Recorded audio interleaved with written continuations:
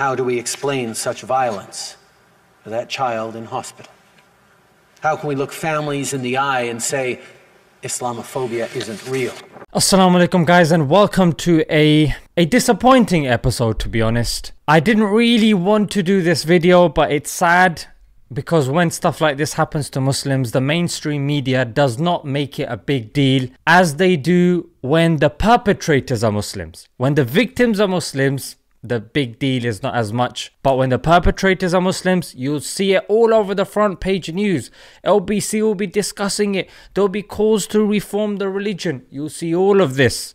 However, it then falls on our shoulders as the small content creators that we are to put this message out there. That's a genius. Okay, guys, so this Saturday in Canada, more specific in a place called London in Ont- Ont- Ontario, a white man ran over an entire family of Muslims and four died instantly, but one nine year old child survived. Yeah, and he's currently in hospital. Police, police have said that it was a planned attack. It was motivated by hate, and the attack was, quote, because of their Muslim faith. Now, this is not me saying it. This is not some Imam saying it, so some Muslim saying it.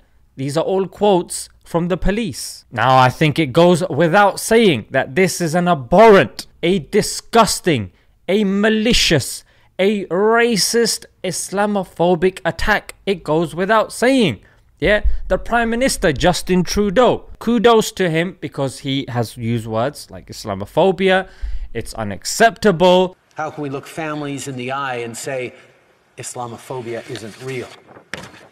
When you listen to the black Muslim woman who constantly looks over her shoulder at the bus stop, fearing someone will pull off her hijab or hurt her, she'll tell you Islamophobia exists. If you listen to the parents who beg their children not to wear traditional clothes for fear of them being harassed or attacked simply for what they're wearing, I'll tell you, racism exists. Muslim families have often felt uncertain or even fearful when they go out in the streets wearing traditional garb. The speech that, to be honest, they, they deserve, and the reassurance rather that they deserve. However, the media on the other side, or on the other hand, has not. We are seeing words like potential terrorism charges and possible terrorism because an attack that is conducted on Muslims just doesn't qualify in the whole terrorism realm, to be honest. Why, I hear you ask? I mean, you ask a 10 year old child this, yeah? You ask any reasonable individual, most people know when these attacks are con- that are conducted against Muslims, then unfortunately we don't qualify. Police has also confirmed that there was no connection between the killer and the killed, other than his hatred to Muslims. I have a few questions that I want to leave you guys with. Yeah? Where did this hatred come from? We really need to think about this. It's not like, yep, it's that one person. We know not all Muslims are the same, not all non Muslims are the same. We do need to understand and we should reflect and be wise about these things.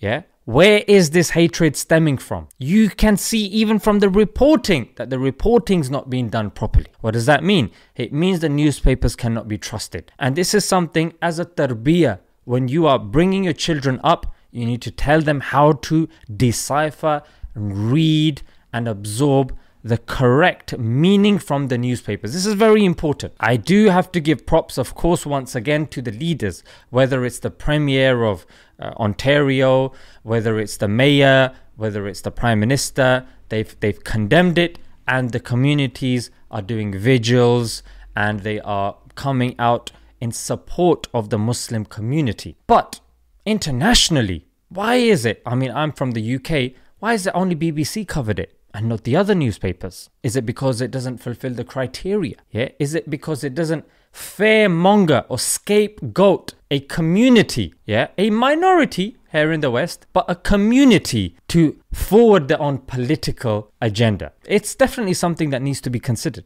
And again, why is this selective outrage? Yeah, when it comes to certain issues, they get blown up and you know, you must condemn and this and that. Now, this perpetrator was a white man. I want to see the white people coming out and condemning this. Yeah, whether he's an atheist or Christian, you need to come out and condemn this. Because anytime a Muslim perpetrates an attack, the communities come out without even being asked to come out. Yeah, but I, I don't see this. Last time when David Wood was eating the Quran and spitting it out, and he had two ex Muslims on the screen laughing and, and mocking with him, I didn't see the Christian community come out and uh, condemn his actions. The people in the higher echelons, yeah, or the higher echelons of the ex-Muslims. Why, why the double standards here?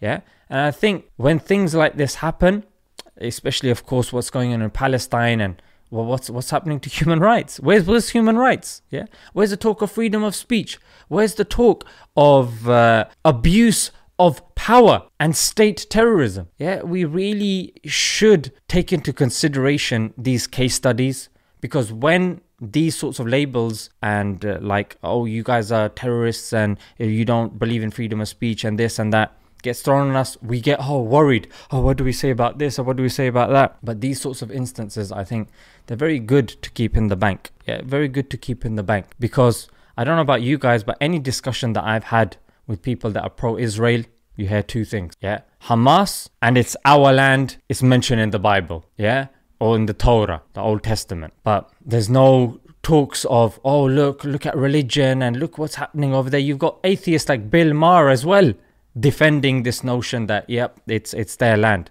Absolute nonsense. All right, guys, let's leave it there. Our prayers go out to the family. Really nice to see people uh, donating to the family and there's so much care and consideration for that for the nine year old child that has survived. Just imagine that child when he wakes up just to realize that his whole family has has been killed. I have to ask about the young boy who is the sole survivor in this horrific attack a nine year old boy who's lost his entire family. How is the community rallying around him we are doing as much as we can to support him. The family has gathered. We are, um, he, he's in stable condition, thankfully, and we're doing as much as we can to um, gather information and um, uh, make out make an outline of what we're going to do for him and who's going to be there for him. And uh, thankfully, everyone has been taking a step forward, and everyone wants to take care of him because at the end of the day, he's everyone's son now.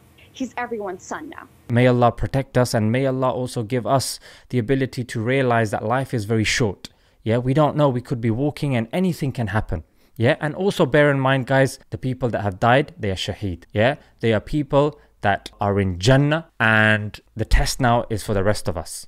Yeah, so don't get angry, don't get frustrated, and don't lose hope. Of course, we carry on doing what we can, but the results are in the hands of Allah subhanahu wa ta'ala. And uh, yeah, let's leave it there. Until next time. Assalamu alaikum.